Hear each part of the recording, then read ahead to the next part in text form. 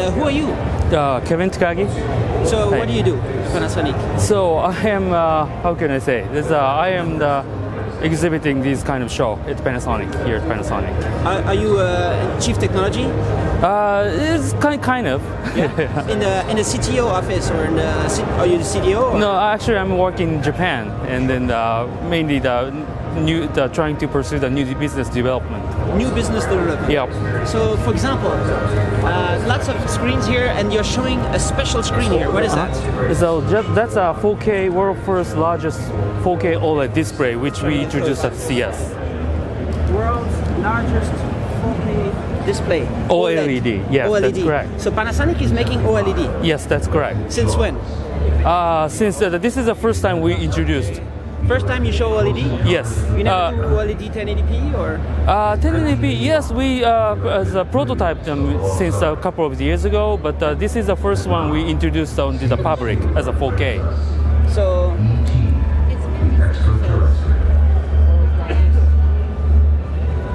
We will witness what is the printing technology? What does that mean?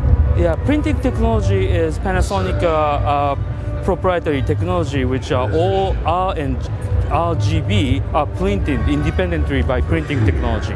So it doesn't require any circum- special circumstances like uh, uh, vacuum circumstances or high temperature print, uh, circumstances. So it is very suitable for mass production because of the high good yield. High, high yield. Yield, yes, High that's yield. correct. So it can be mass manufactured for real. That's that's great.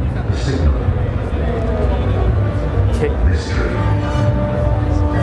So high yield 4K OLED sounds like a dream. Is it going to be for real? Yeah, yeah, it's gonna so be it's the going for to be real. mass market. Yeah, it's gonna be. Yeah, it's also good for the mass. Yeah. It's good for both mass production and the B2B business area because uh, we can use the same uh, printing head uh, for the wide variety of display size, like a 20 size, 20 inch size to the 56 inch size like this. So ET. Is that the main difference between your technology and let's say Samsung, LG? Right. Uh, Is that the main difference? Yeah, the, yes, that's correct. Uh, the competitors, uh, other competitors use uh, like a vacuum deposition or some white OLED. Is uh, that's uh, totally different from our printing technology. That's a unique point of Panasonic. So how's it going to compare with uh, LCD 4K? LCD 4K, the our printing technology enable the high color fidelity compared with uh, LCD. So not only the 4K high resolution, but also the uh, high color fidelity is super. So we can uh, provide a kind of whole new experience to customers. Whole new experience. Blacks are super black. Yes, black is super black since self uh, illuminating is like a plasma. Like a plasma. Is, it, Right. is there any technology related to plasma in here? Uh, not, not specifically other than it's self-illuminating, but the black level is super uh, better than the plasma.